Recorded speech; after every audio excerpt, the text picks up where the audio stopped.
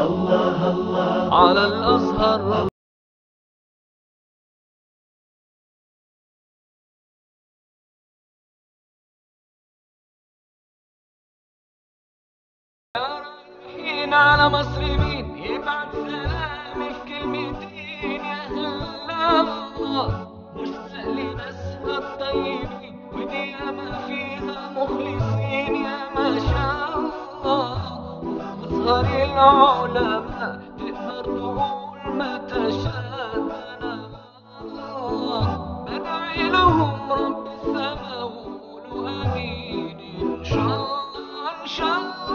وقوله في هذا الاستدلال شروط العام ومعانداته. أقل من شروط الخاص ومعانداته. قلنا ذلك الذي ذكرتموه إنما هو بالنسبة إلى تحققهما ده لما يوجد في الخارج. لكن إحنا بنتكلم في المفاهيم. يبقى إزاي بقى المعاندات؟ بالنسبة إلى تحققهما أي تحقق العام والخاص في الهويات. لازم أشرح دي وأفكركم. إن عندنا ثلاث حاجات. عندنا. الماهية؟ وهي المفهوم الذهني. وعندنا الحقيقة وهي المفهوم الذهني مضافا إليه الوجود. وعندنا الهوية وهي المفهوم الذهني. زائد وجود زائد تشخص تعين في فرد معين. واضح؟ فعندما تنتقل هذه المفاهيم العامة لتتحقق في فرد أو صنف في الهويات. واضح؟ يعني اللي فيها ثلاث حاجات. ماهية وحقيقة. وهوية. اللي تطلع الهوية؟ يعني أنت الفرد ده مفهوم؟ ووجود؟ ومشخصات. فروق فردية. واضح؟ فعندما تتحقق هذه العموميات اللي اتكلم عنها في الهويات. نعم. إذ العموم والخصوص إنما يعرض للشيء باعتبار ذلك. أنا كتبت فوق السطر أي لا في مستوى المهايا ولا الحقائق وإنما في مستوى الإيه؟ ما انتوش معاي. الهويات يا مولانا. الهويات. أيوة كده. عشان أنا قلت له حاجة لما أنت مشيت من هنا. نعم إيه بسأله مش لما خرج دلوقتي قلت لك حاجة؟ وإلى أصحابها أي تحقق العام والخاص في مستوى الهويات اللي هو الثالث ده. ليس في مستوى ال- المهاية دينية ولا الحقائق اللي فيها الهوية أو ال أو آسف المفهوم ومعاه وصف الوجود. بس غير معين كما تقول إنسان أي إنسان. طيب إذ العموم والخصوص إنما يعرض للشيء باعتبار ذلك كتبت أنا فوق أي في مست... أي لا في مستوى? أو تقول في مستوى ال... ال... الهويات وليس في مستوى المهايا ولا الحقائق. عرفت الثلاثة؟ يا شريف عرفت الثلاثة؟ فالأعم يكون متحققا في هويات هويات وأفراد أكثر. لأن مجاله أوسع. هو أنا هقول كلام غير اللي أنت بتقوله. فالأعم يكون متحققا في هويات وأفراد أكثر والأخص في أفراد أقل. ده, ده في علم الأصول كلما زادت القيود في الخاص كلما قلل أنت لما تقول الطلبة الناجحين تسوي الطلبة؟ لا، دي دول ده ساعات يقول لك لا بينجح هو دول كلهم طلب ولكن ما فيش ولا ولا واحد. ماشي. فإذا ترتبت الأشياء في العموم والخصوص كالجوهر وده أعلى؟ أعلى حاجة يعني كالجوهر. بالنسبة إلى نوع الإنسان بل صنفه لأن الصنف أدنى من النوع شوية اللي هي المجاميع جوه النوع. صنفه فكل ما هو شرط لتحقق الأعم أو معاند له فهو شرط لتحقق الأخص. معاندات الأخص. فهو شرط لتحقق الأخص أو معاند له. يعني عكس ما كان يدعي. فإنه لو لم يتحقق الأعم في ضمن فرد لم يتحقق الأخص في ضمنه. ما هو إمتى بيجي كده لما ي... لما يتحقق في الخارج يجي الأخص. في ضمن فرد لم يتحقق الأخص في ضمنه بدون العكس. وليس كلما كلما وجد ال ال فإنه لم لو لم يتحقق الأعم في ضمن فرد لم يتحقق الأخص. هل يمكن أن يتحقق الأخص دون الأعام؟ مستحيل. ده أنه موجود جواه. وهو ده اللي دون عكس. اللي هو العكس المنطقي. إذ قد يتحقق الأعم في ضمن فرد غير فرد الأخص. لا بالنسبة إلى تحقق ما في الذهن. لا. ده الحصول. إذ لا علاقة بين الصورتين الذهنيتين. المفاهيم الذهنية دي ليست بينها علاقة إنما تنشأ العلاقات بين الأشياء بعد تحققها. تقول ده عام وده أخص. العلاقة بينهم العموم والخصوص ال- الوجهي العموم والخصوص ال- المطلق كده. إنما لا تنشأ هذه العلاقات بين مجرد المفاهيم. إذ لا علاقة بين الصورتين الذهنيتين بحسب تحققهما في الذهن. وهنا تيجي المسألة اللي قلت لك عليها. طب مسائل العلوم ما هي لسه يدوب في مستوى المفهوم؟ شريف وسع مخك عشان تفهم. أي علم في الدنيا مكون من مجموعة قواعد مش كده؟ أي علم منطق تجويد حساب. في مجموعة قواعد. جمع والطرح والصرف. مش كده؟ مجموعة القواعد دي اللي بتكون العلم اسمها مسائل. مسائل جمع مسألة. المسائل دي عندما تفهمها وتتحدد وتتميز جوه مخك كل قاعدة غير الثانية ساعتها دي دي موجودة فين؟ موجودة وجودا طبيعيا جوه ذهنك ولا مجرد وجود ذهني؟ ومتميزة بعضها عن بعض. خلوكم معانا. مش توسع بس توسع وتعمق. خليك معانا. وما ذكرتم لا هناك يا سبحان الله فين بالنسبة إلى تحققهما لا بالنسبة يعني الحصول الخارجي وليس التحقق في الذهن. إذ لا علاقة بين الصورتين الذهنيتين من ناحية عموم وخصوص بحسب تحققهما في الذهن. فجاز أن تحصل صورة الخاص فيه يعني في الذهن بدون صورة العام ولا تعاند بين الصور الذهنية بل هي متقاربة. ألا, ألا يرى أن الضد أقرب خطورا بالبال مع الضد؟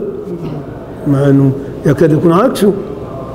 لكن بضدها تتميز الأشياء ولما يخطر في بالك الشيء غالبا ما يخطر في ذهنك ضده وهو معاند لكن بيجي. فإذا بالبال مع الضد منه بدونه. نعم. إذا كان الأعم جزء الأخص نعم يعني هنسلم. إذا كان الأعم جزء الأخص وكان الأخص معلوما بالكنه معنا؟ إذا كان الأعم جزء الأخص وكان الأخص معلوما بالكون يعني هنقول زي حيوان مناطق يتحقق في الإنسان. كان شرط تحقق الأعم في الذهن شرطا لتحقق الأخص فيه. مش هتيجي حكاية إنسانية إلا إذا وجدت حيوانية. وناطقية طبعا.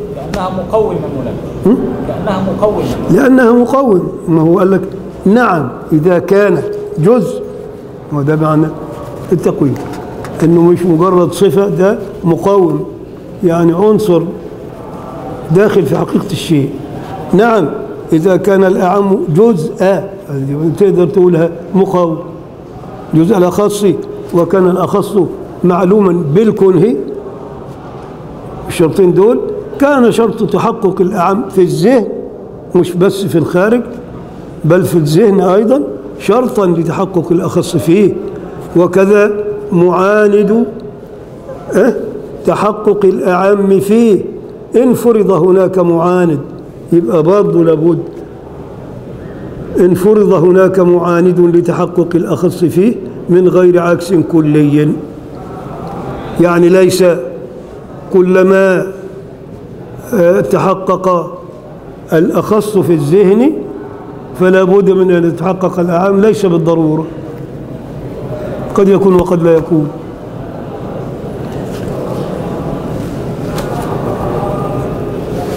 والمنكر له أي لكون الوجود بديهيا ان- انتقلنا إلى بحث جديد. كنا فيما مضى نتكلم في بداهة الوجود أو عدم بداهته. وأنه إذا كان غير بديهي يعني كسبي. فهل يكتسب بماذا؟ يكتسب بالحد أو بالرسم. وما يترتب على ذلك من مشاكل ومناقشات. كل ده قد مر والآن سيقول لك المخالفون في بداهة الوجود فرقتان من المفكرين. ويختم بذلك الم- ال- المقصد. وإحنا قلنا المواقف بتنقسم إلى إيه؟ مراصد. وكل مرصد بينقسم إلى آه زي ما تقول مباحث لكن هو بيسميها إيه؟ آه يسميها إيه؟ مقاصد. مقاصد. داخل المراصد. فمواقف يعني أبواب ومراصد يعني فصول ومقاصد يعني مباحث داخل هذه. فالمبحث اللي معانا هيختم بالمسألة دي اللي هي من المخالفون في بداهة الوجود؟ فرقتان. اكتب على الهامش الفرقة الأولى قدام السطرين الأخيرين. الأولى من يدعي أنه كسبي؟ يبقى قطعا الوجود عنده مش بديهي ليس بديهيا. من يدعي أنه كسبي؟ محتاج محتاج إلى معرف شكل إلى معرف لأنه تص- تص- تصوري مش تصديقي فيحتاج إلى معرف مش دليل يحتاج إلى تعريف وده معنى معرف ليه؟ لوجهين الأول أنه إما نفس الماهية الوجود عند الشيخ أبي الحسن كما ذكرنا هو نفس الماهية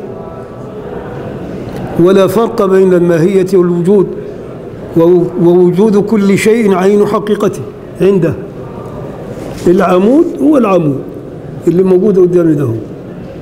والعمودية معناها وجوده راسيا على الأرض حاملا جزءا من. من الثقل المو- الموجود فوقه بس وما فيش حاجة ورا كده. فالماهية والوجود شيء واحد. والوجود عنده عين الماهية. وبالضرورة مش كل الأشياء معلومة لك. يبقى بعض الأشياء جايز تعرفها وبعض الأشياء تخفى عليك. يبقى لا يمكن أن يكون الوجود كله بديهي. ده كده استنتاجية ولا مش كده؟ ما دام الوجود عين الأشياء. هو أنت عارف حقائق كل الأشياء اللي في الكون. مين يعرض؟ ما فيش إلا خالقها. ده أرسطو لما قال إن الحد يبين الكون أو حقيقة الشيء رجع وقال وهذا صعب جدا تحقيقه. واضح؟ طيب ويا ريت تشوفوها في كتاب مح... آه عبد الرحمن بدوي منطق أرسطو. بيقول فرقتان الأولى يعني من من أدعياء أو من القائلين بأن الوجود ليس بديهيا بل هو كسبي. الأول إنه محتاج إلى معرف. ليه؟ الوجه الأول الذي به يلزم له تعريف إنه إذا إذا خدت بالمذهب القائل بأن الوجود نفس الماهية يعني نفس حقائق الأشياء اللي حواليك وأنت عارفها كلها كما هو مذهب الشيخ الهاتف. البتاع؟ بالضبط.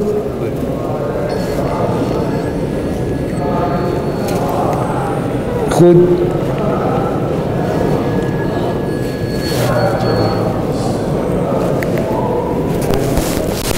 قفلت وأنا.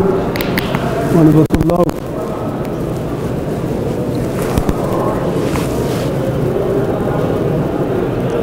مذهب الشيخ أبي الحسن الأشعري.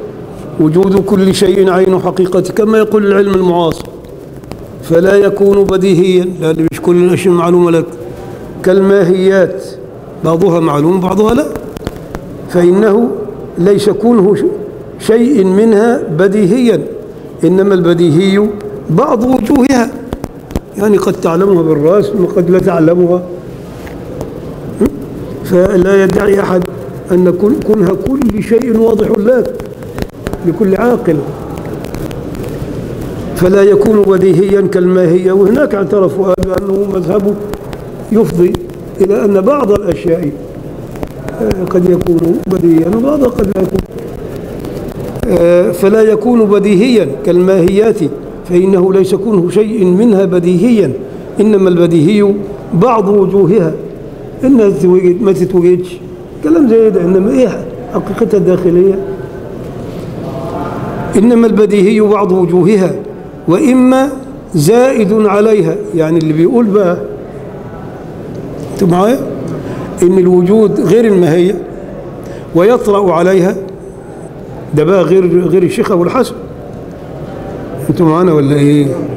لأن الوجود يا إما يكون نفس الماهية زي ما بيقول أبو الحسن وبالتالي الماهية كلها معلومة لك ومعلومة بيكون هي أبدا. إنما قد تكون معلومة لك ببعض وجوهها. يعني زي ما بيقولوا من وجه ما وجه ما دي يعني بأي وسيلة للتعريف ولو بلفظ أوضح. مش بالرسم بس إنما في حاجات مش معروفة لك أصلا ولا خطرت لك على بال. فضلا عن أن تعرفها بوجه أو بغير وجه. أليس كذلك؟ فإذا النتيجة بتاعت مذهب الحسن واضحة. طيب والمذهب الثاني الذي يقول بأن ال- الحقائق آسف المهايا هي المفهوم الذهني ولكن يطرأ عليها الوجود فتصبح حقيقة يعني متحصلة في الخارج؟ وبعدين إذا طرأ عليها كمان المشخصات تبقى إيه؟ هوية. فده دي وجهة نظر م- عنده بقى مش حقائق الأشياء عين وجودها. لا. وإما زائد عليها كما هو مذهب غيره. يعني في ماهية ويطرأ عليها الوجود. بس يطرأ عليها طروء الوصف. أنتم معانا؟ مش طروء التقويم يطرأ عليها طروء الوصف. عشان هنعوزها بعدين. وإما زائد عليها كما هو مذهب غيره. غير أبو الحسن. في مهاية والوجود يجي يلحقها أو يقوم بها. قيام الوصف بالموصوف واضح؟ فيكون الوجود حينئذ من عوارضها. صح؟ أي من عوارض الماهيات. فيعقل الوجود تبعا لها. اللي يعرفها يعرف الوجود لأن هي عبارة عن حاجتين. ما هي وجود؟ صح؟ تبعا لها لأن العارضة لا يستقل بالمعقولية لكن الماهيات ليست بديهية عند أصحاب المذهب الثاني الذين اعترفوا بطروق إيه؟ ال- الوجود على المهاية طروق الوصف على الموصوف قالوا بأن هو بيتبعها في الإدراك وبعض المهاية غير مدرك يبقى مش بديهي ليس دائما بديهيا لأن العارضة لا يستقل بالمعقولية وإنما يتبع المعروض مش عارف أنتوا فاهميني ولا لا؟ لكن الماهيات ليست بديهية. يبقى إذن العارض لها وهو الوجود في بعض الأحيان مجهول. ليس بديهيا. فلا يكون الوجود بديهيا أيضا ما دام لاحق. وقد يتخيل الإنسان الماهية بدون العارض. نعم. وقد يتخيل الإنسان الماهية بدون العارض. يعني اللي بيزعقوا دول بيمنعوني أسمعك وأنا طبيعي سبعي ضعيف. تعال هنا. قد يفهم الإنسان الماهية بدون أن يخطر على على يعني على عقله العارض. أي أنت لما تتخيل إنسانية أو كذا كونها موجودة أو مش موجودة قد لا يطرأ على البال. فإذا ما دام إدراك ال ال ال ال ال اللاحق ده اللي هو الوجود تبعي والأصل نفسه أحيانا مجهول. يبقى من باب أول دي مجهولة ب- بخطوتين. ماشي الكلام؟ فبيقول أهو ليس فلا يكون الوجود بديهيا أيضا. ليه؟ لأن التابع للكسبي أولى بأن يكون كسبي. كان الأصل نفسه مجهول. ويحتاج إلى معرف. يبقى من باب أولى يحتاج الوجود إلى معرف لأن التابع للكسبي أولى بأن يكون كسبيا والجواب في ده كلام لكن نناقشه. لا نسلم أنه إذا كان عارضا للماهية عقل تبعا لها حكاية التبعية في المعقولية دي. مش كل المهاية زي انت ما استشكلت هناك والماهية المعينة دي المفترضة ضرورية خد بالك فيبقى بديهي فإذا الاعتراضين غير مسلمين هعيد تاني أهو عشان اللي مش فاهم يقول لي الرد الأول بيقول? يعني بيقول لك أن تجيب بأحد الجوابين السابقين بأنه بأن يقال أيضا هي غير مستقلة بالمعقول بل تعقل تبع للماهية المخصوصة التي ليست هي ببديهية. فيحتاج حينئذ إلى أحد الجواب الأول أن العارض للماهية لازم يعقل كما تدعون تبعا إيه؟ للمعروض أو للماهية نفسها أنتم معانا؟ اللي هو الماهية معروض يعني الماهية. ده نفسه لا نسلمه. لأنه قد يعقل العارض ولا يعقل المعروض أو لا يخطر في الذهن أصلا يبقى كلامك بقى بالاستشكال بأنه لازم يحتاج معرف وأنه غير بديهي آه على أساس أنه الأصل اللي هو بيقوم به مجهول فمن باب أولى أن العارض الآخر. بنقول له لا مش دايما أنت فاهمني؟ أنه قد يدرك العارض والمعروض ما لا يخطر بالبال هذه واحدة. أنتوا معنا ولا لا؟ نعم. ده رد على استبعاد البداهة. يعني واحد بيقول لازم من معرف لأنه كذا وكذا. يقول له لا. اللي بيدعي البداهة له أن يرد عليك بهذا الرد. أو رد آخر. معنا آخر. لا نسلم أيضا أن الماهية المطلقة إنما تعقل تبعا للماهية المخصوصة. يعني ليه؟ ومع ذلك حتى لو سلمنا بهذا فيكفي ولو في حالة واحدة ت- نتصور ماهية معينة. كويس؟ ويعرض لها ال- ال- الوجود. والماهية المعينة دي ضرورية. يبقى ما هو متوقف عليها أو لاحق بها؟ ضروريا أيضا وبالتالي يبقى لازلنا مع نظرية بداهة الوجود وضروريته. إنما كلامك بأنه لابد من التعريف لم يتم. فلتبحث عن أدلة أخرى. هذه القصة وهذه الحكاية ونبقى في المرة اللي جاية. نقول يعني هنا بيقول هو آخر الكلام. آه، فيعود الكلام فيها. بأن يقال هي أيضا غير مستقلة بالمعقولية بل تعقل تبعا للماهية المخصوصة التي ليست ببديهية. فيحتاج يحتاج حينئذ إلى أحد الجوابين السابقين. فيلزم الاستدراك في هذا الجواب. يعني هو بيقول الأخير ده يعني ما زيادة. إنما الجوابين السابقين يصلحان للرد على هذه الدعوة. ثم ينتقل بعد ذلك إلى لأن ده كله كان بناء على نظرية أبو الحسن اللي بيقول إن الأشياء عين لما- وجود الأشياء عين حقائقها ونظرية القائلين بأن الوجود عارض. الوجه الثاني أن يقال لا شك أنه لا يشتغل العقلاء آه، بتعريف التصورات البديهية كما لا يبرهن العقلاء على القضايا البديهية. فلو كان الوجود ضروريا لم يعرفوه وفيه تعريفات خد عندك كثيرة جدا. بل مختلف فيها والمناقشة حول بداهة الوجود وضروريته أخذت مساحة كبيرة جدا. كيف يقول بالبداهة؟ ده موضوع هيجي واضح؟ لو كان بديهي مش البديهي هو ما يدركه الكبير والصغير والعالم والجاهل أمال ليه المناقشة دي كلها. فنترك هذا الكلام ونجيله إن شاء الله بعون الله يوم السبت القادم. هو لو أنتوا يعني فيكم نفس أخلص الحتة دي نص صفحة ونبقى واقفين عند الفرقة الثانية من المنكرين لبداهة الوجود وضروريته معنا؟ طب نخلص الفرقة الأولى. إحنا انتهينا من إيه هم الجوابين؟ ومش ضروري الأخير ده هو ده زيادة. استدراك. معايا؟ آه الجواب الوجه الثاني أن يقال لا شك أنه لا يشتغل العقلاء بتعريف البدائع.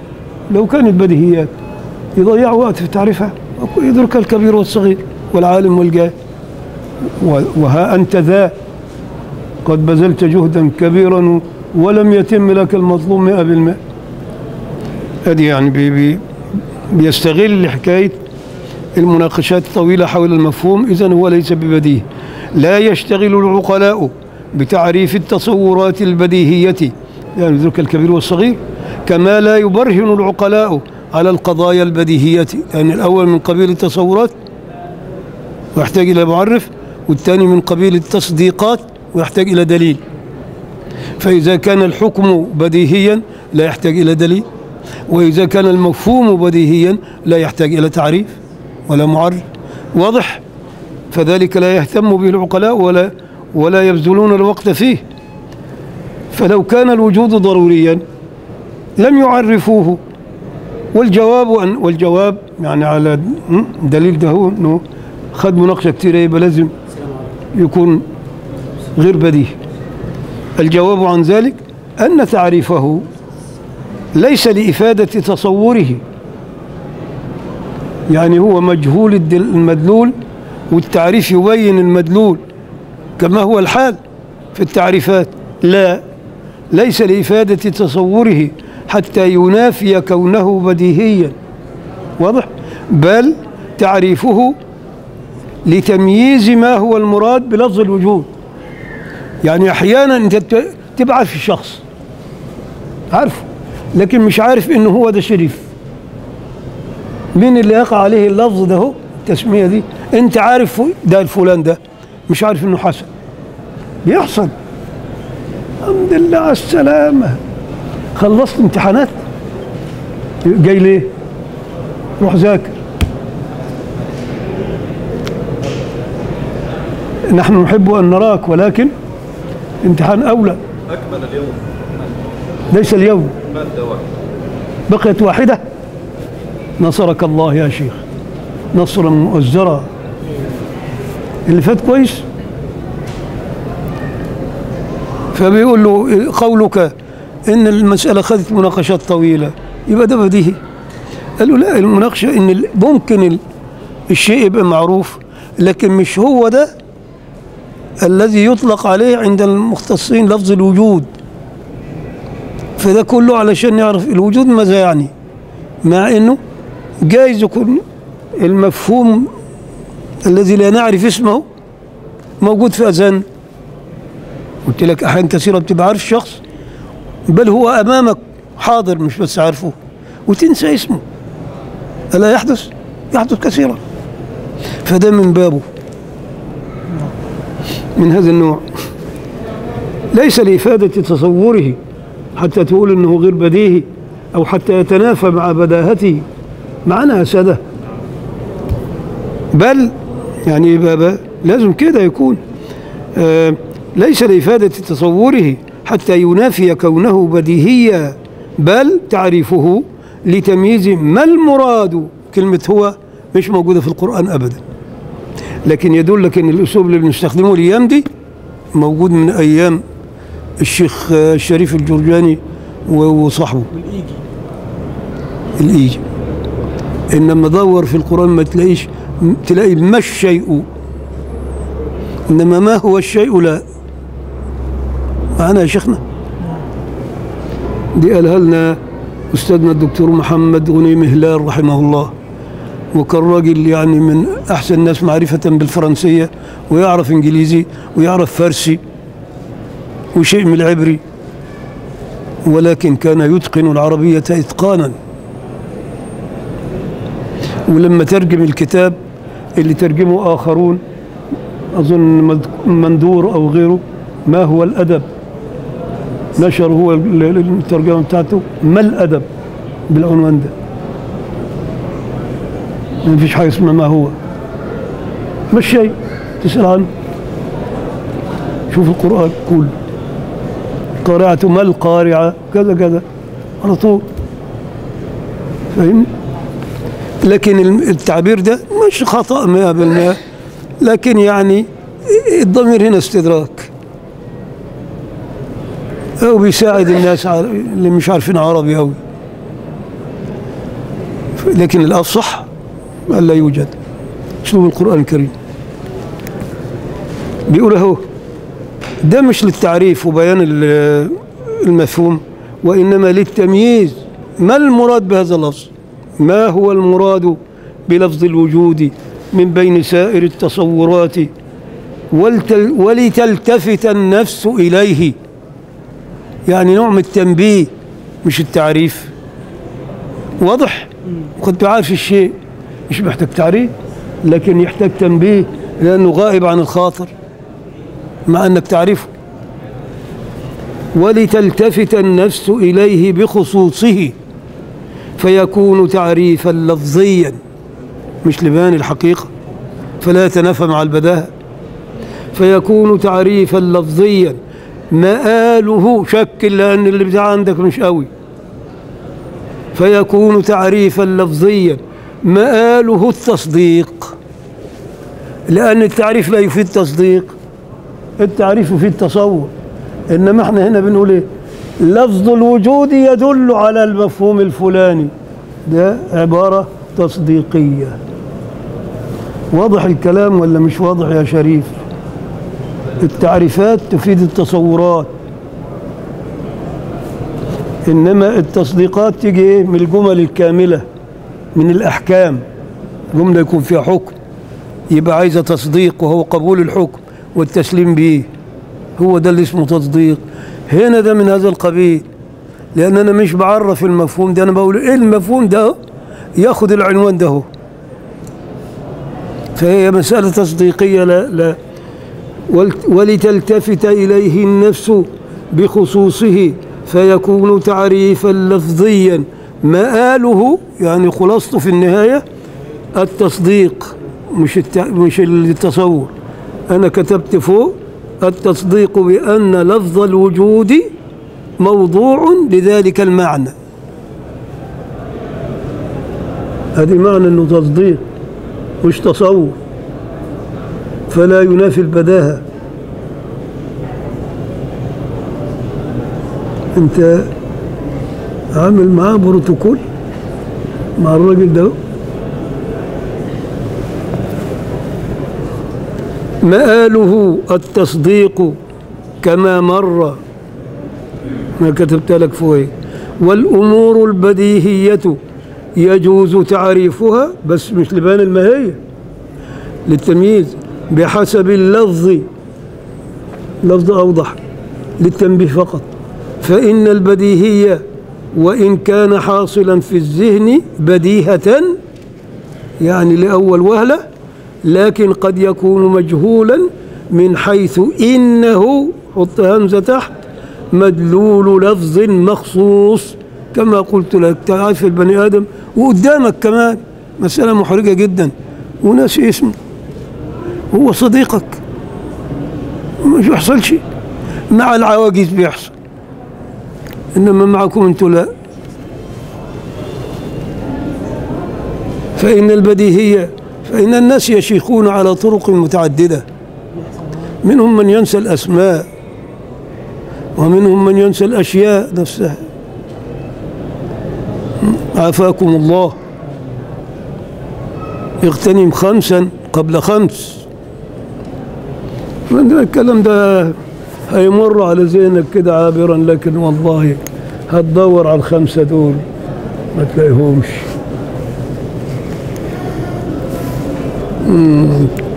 والأمور البديهية يجوز تعريفها بحسب اللفظ فإن البديهية وإن كان حاصلا في الذهن بديهة أو بداهة زي ما تقول لكن قد يكون مجهولا من حيث إنه مدلول لفظ مخصوص ومراد به فيعرف شكل الكلام ده كله فيعرف مش لبيان الماهية ما هي موجودة في مخك فيعرف ليعلم أنه مدلوله ومراد به. وقد أجيب عن الوجه الثاني أيضا بأن أحدا لم يشتغل بتعريف الكون في الأعيان الذي وقع النزاع فيه لكن جماعة لما تصوروا أنه أي الوجود ليس هو الكون في الأعيان بل هو شيء يوجب الكون في الأعيان ولم يكن كذلك. ما هي دي الفكرة اللي هي قلت لكم كلام أبو الحسن بالغ القيمة؟ لأنه ما فيش حاجة اسمها ما هي وبعدين يجي حاجة كده زي زي إيه؟ زي ما بتعمل ال- الشوكولاتة تيجي تلغمطها بالح بالحلوى من فوق. لا هي كلها حاجة واحدة. بقى العمود. حاجة اسمها ما هي وبعدين عمودية. أنت فاهمني؟ هو ده قطعة الصخر التي ترسو على الأرض وتحمل كما من الأثقال تبقى عمود وهو وجود العمود عينه ما هي أنا أنا أنا فدي في النقطة دي أشعر. فهو بيقول إيه بقى يا سيدي؟ مش أنت فاكر الأبيات؟ هذا وإني في الختام. هيزعل مني ده هو. هذا وإني في الختام. إيه؟ مردد. مكرر ولا إيه؟ مردد. مردد. قول الذي إيه؟ قولا قول قولا قديما للحضور الأزهري. قولا قديما للحضور الأزهري كان مؤتمر. إيه؟ آه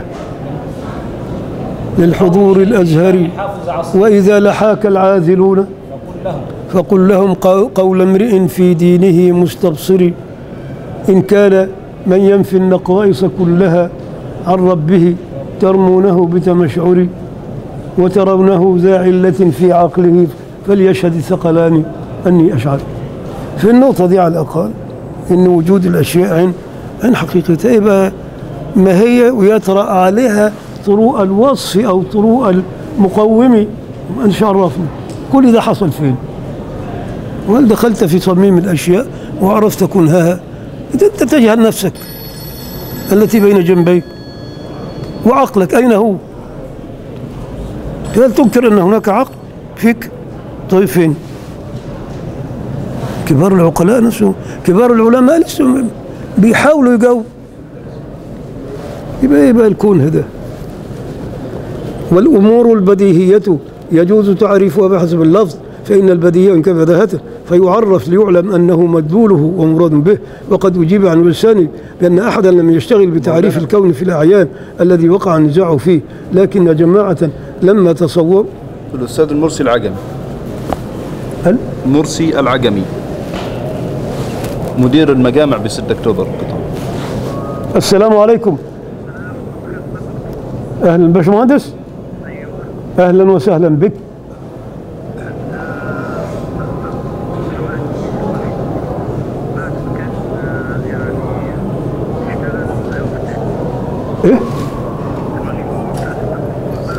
أ- هيحصل؟ أنا وا- واخد بالي كويس أه. أه. أي. ونوقف تاني. طيب أي.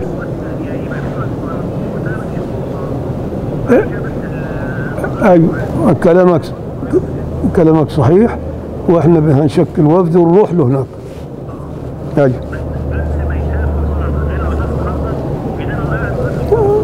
بيقولوا لي كده هيقعد ثلاث شهور. إن شاء الله قبل.